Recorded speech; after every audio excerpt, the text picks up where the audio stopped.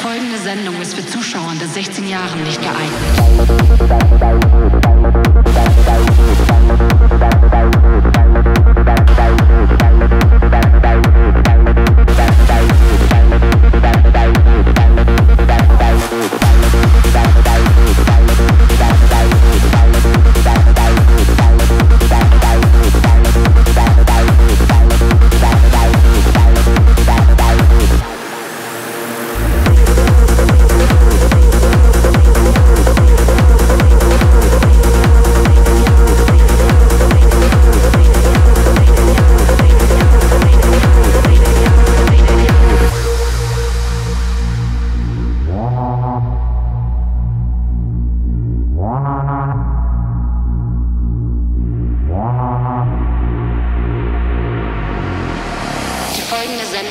Die folgende Sendung ist für Zuschauer unter 16 Jahren nicht geeignet.